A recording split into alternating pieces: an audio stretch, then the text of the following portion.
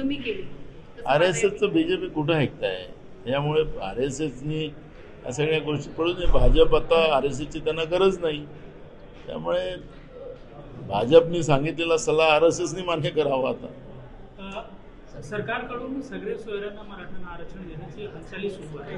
OBC साठी अन्याय आहे का.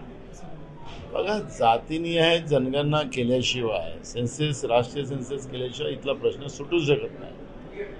सरकार आता कसं करतंय सरकारला आम्ही लक्ष ठेवणं आणि सरकारने कोणाचं आरक्षण काढू नये त्यांना आरक्षण द्यावं ही सगळी भूमिका स्पष्ट होती. त्यामुळे सरकारने जे सभागृहात सांगितलं त्याचं पालन ते करतात.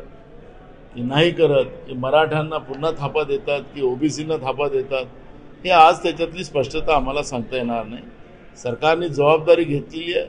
त्यांनी कसा प्रश्न सोडवावा तो त्यांचा भाग मणिपूर आणि पक्ष फोडाफोडीवर आर एस एसने भाजपला सोडवलं आहे.